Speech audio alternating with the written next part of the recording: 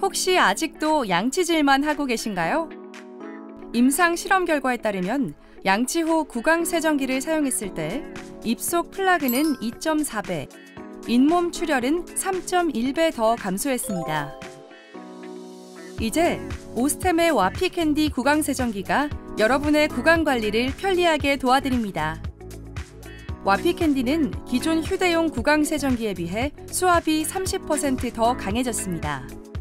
평소 식사하신 후에는 5단계 중간 수압 정도로 사용하실 수 있고 치아 사이에 잘 끼는 질긴 음식을 드셨을 땐 업그레이드된 10단계 강한 수압으로 더 깔끔하게 음식물을 제거하실 수 있습니다. 또한 와피 캔디는 일반 핸디 구강 세정기 대비 용량이 50ml 더 커졌습니다. 따라서 일반 핸디 구강 세정기보다 긴 시간 동안 사용이 가능하기 때문에 물 보충에 대한 번거로움이 줄어들었습니다. 특히 일반 휴대용 구강 세정기의 절반 사이즈로 휴대가 더 편리합니다. 따라서 가방이나 캐리어에 넣고 다닐 수 있어 언제 어디서나 간편하게 사용할 수 있습니다.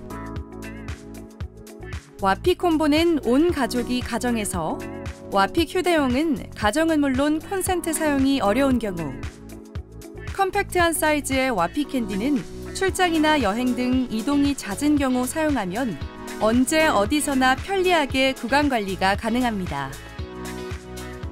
가방에 쏙 들어가는 구강 관리 필수품 와픽 핸디 구강 세정기를 사용해 보세요.